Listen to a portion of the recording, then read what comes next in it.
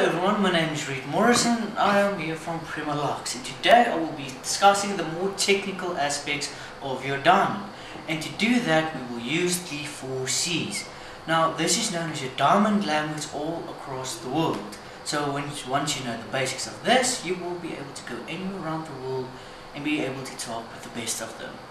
Now for today's video I will cover the carat weight. Now how do we see the carat weight? Normally we think, alright, it's a weight class on its own. But actually the word carat comes from the carob tree, known for those seeds. The seeds weighs exactly the same as a 1 carat diamond, 0.2 grams. That means if you want a full gram's worth of diamonds, you'll look at a astounding 5 carat diamond.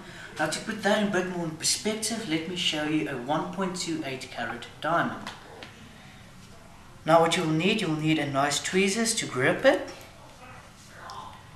And as you can see to my hand, it is not that small. And this one weighs a mere 0.25 grams. And that covers our story about the carat weight. So please like and subscribe to see more and I will see you back in the next video where we will discuss the clarity of a diamond.